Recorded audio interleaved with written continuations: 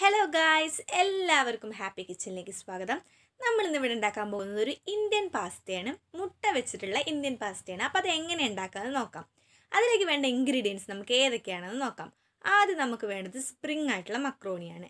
ഇതാണ് ഇതിന്റെ main ingredient പിന്നെ നമുക്ക് വേണ്ടത് ഒരു സബോള അരിഞ്ഞത് പിന്നെ ഒരു ക്യാരറ്റ് അരിഞ്ഞത് ചെറുതായിട്ട് അരിഞ്ഞതാണ് പിന്നെ ഒരു പച്ചമുളക്. പിന്നെ നമുക്കിതിലേക്ക് രണ്ട് മുട്ടയാണ് നമ്മൾ യൂസ് ചെയ്തിരിക്കുന്നത്. പിന്നെ പൊടികളായിട്ട് നമുക്ക് എന്തൊക്കെയാണ് വേണ്ടത് നോക്കാം. ഗരം മസാലപ്പൊടി മഞ്ഞൾപ്പൊടി ഉപ്പ് പിന്നെ ഒരു പിഞ്ച് പഞ്ചസാരയാണ് നമ്മൾ യൂസ് ചെയ്യുന്നത്. അപ്പോൾ ഇതൊക്കെ വെച്ചിട്ട് നമുക്ക് എങ്ങനെയാണ് ഒരു ടേസ്റ്റി ആയിട്ടുള്ള ഇന്ത്യൻ പാസ്റ്റ് ഉണ്ടാക്കുന്നത് നോക്കാം. ആദ്യം നമ്മളൊരു പാത്രത്തിൽ കുറച്ച് വെള്ളം എടുത്തിട്ട് ചൂടാക്കാൻ വെച്ചിട്ടുണ്ട്.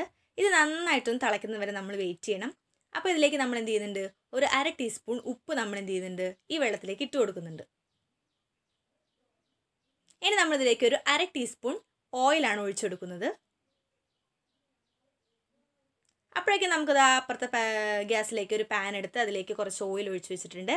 പാൻ നന്നായിട്ട് ചൂടായി എണ്ണയൊക്കെ നന്നായിട്ടൊന്ന് ചൂടായിട്ട് വരട്ടെ. അപ്പോൾ നമുക്കതിലേക്ക് എന്ത് ചെയ്യണം?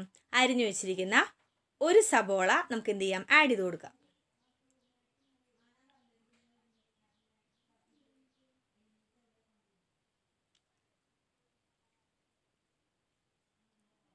ഇനി നമ്മളിതിലേക്ക് ആഡ് ചെയ്ത് കൊടുക്കുന്നത് ചെറുതായി അരിഞ്ഞു വെച്ചൊരു പച്ചമുളകാണ്.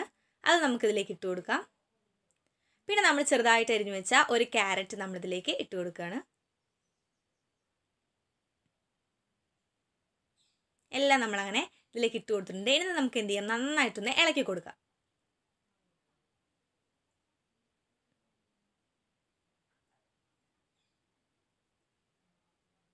നന്നായിട്ട് നമ്മൾ എന്ത് ചെയ്യാണ്? ഒന്ന് ഇളക്കി കൊടുക്കുകയാണ്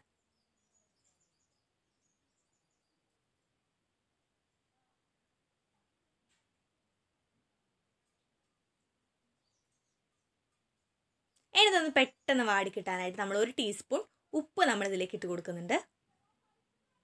അതും കൂടി നമ്മൾ ഇട്ട് കൊടുത്ത് നന്നായിട്ട് ഇളക്കി കൊടുക്കാം. ഇതായി ടൈം ആകുമ്പോഴേക്കും നമ്മുടെ വെള്ളം ചൂടായിട്ട് വന്നിട്ടുണ്ട്. ഇനി നമുക്ക് എന്ത് ചെയ്യാം? ഇതിലേക്ക് മക്രോണി നമുക്ക് ഇട്ട് കൊടുക്കാം. ഒരു ബൗൾ മക്രോണിയാണ് നമ്മൾ ഇതിലേക്ക് എടുത്തിരിക്കുന്നത്. അത് മുഴുവനായിട്ട് നമ്മൾ എടുക്കുകയാണ്. ഇത് ഏകദേശം ഇരുന്നൂറ് ഗ്രാം ആണ്.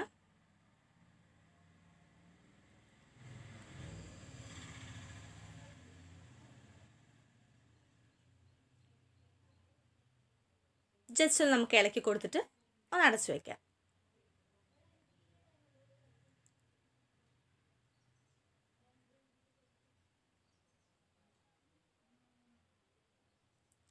ഒന്ന് അട ഒരു മൂടി എടുത്ത് നമുക്ക് എന്ത് ചെയ്യാം? അത് അടച്ചു വെച്ചു. അതായത് ഇപ്പോൾ ഒരു മിനിറ്റ് നമ്മൾ വെയിറ്റ് ചെയ്തിട്ടുണ്ട്. മക്രോണി ഇപ്പോൾ നന്നായിട്ട് കുക്കായിട്ട് വന്നിട്ടുണ്ട്. വെള്ളം നന്നായിട്ട് തിളച്ച ശേഷമാണ് നമ്മൾ മക്രോണി ഇടാൻ പാടുള്ളൂ. അല്ലെങ്കിൽ അത് കറക്റ്റായിട്ട് അത് കുക്കായിട്ട് കിട്ടില്ല. ഇപ്പോൾ അതാ കറക്റ്റ് അതിന്റെ വേവായിട്ട് കിട്ടിയിട്ടുണ്ട്.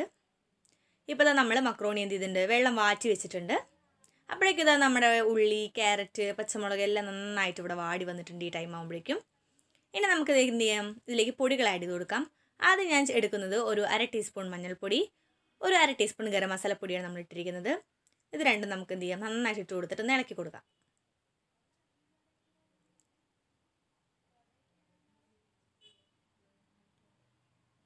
നന്നായിട്ട് ഇതൊന്ന് മിക്സ് ആയിട്ട് വരുന്നവരെ നമുക്ക് ഇളക്കി കൊടുക്കാം. ഇനി നമുക്ക് എന്ത് ചെയ്യാം? ഇതൊരു സൈഡിലേക്ക് മാറ്റി വയ്ക്കാം പാത്രത്തിന്റെ. എന്നിട്ട് ആ സൈഡിൽ തന്നെ നമുക്ക് എന്ത് ചെയ്യാം? രണ്ട് മുട്ട ഒഴിക്കാം. ഇത് നന്നായിട്ടൊന്ന് ഇങ്ങനെ ക്രഷ് ചെയ്തെടുക്കാം.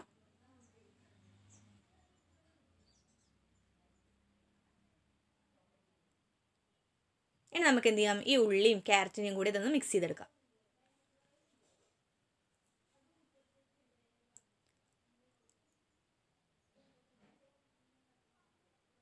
അപ്പോൾ അതായത് നന്നായിട്ട് മുട്ടയും ഉള്ളിയും ക്യാരറ്റും ഒക്കെ പടം മിക്സ് ആക്കി എടുത്തിട്ടുണ്ട്. ഇനി നമുക്ക് എന്ത് ചെയ്യാം? നമ്മൾ വെള്ളം മാറ്റി വെച്ച പാസ്തേനെ നമുക്ക് എന്ത് ചെയ്യാം? ഇതിലേക്ക് ഫുള്ളായിട്ട് ആഡ് ചെയ്ത് കൊടുക്കാം. വെള്ളം നന്നായിട്ട് വാരണം. മുഴുവനായിട്ട് ഞാൻ ഇതിലേക്ക് ഇട്ട് കൊടുക്കുകയാണ്. ഇനി അത് നന്നായിട്ട് നമുക്ക് മിക്സ് ചെയ്യാം. ആ മസാലയും പാസ്തയും പാടെ നന്നായിട്ടൊന്ന് യോജിപ്പിച്ചെടുക്കാം നമുക്ക്. ഇപ്പം നമ്മുടെ മസാലയും പാസ്തയും ഒക്കെ പാടെ നല്ല മിക്സ് ആയിട്ട് വന്നിട്ടുണ്ട്. ഇനി നമുക്ക് എന്ത് ചെയ്യാം? ഇതിലേക്ക് ഒരു ടേസ്റ്റിന് വേണ്ടിയിട്ട് കുറച്ച് പഞ്ചസാരയാണ് നമ്മളിതിലേക്ക് ആഡ് ചെയ്ത് കൊടുക്കാൻ പോകുന്നത്. ഒരു കാൽ ടീസ്പൂൺ പഞ്ചസാര മതി. അധികമൊന്നും വേണ്ട.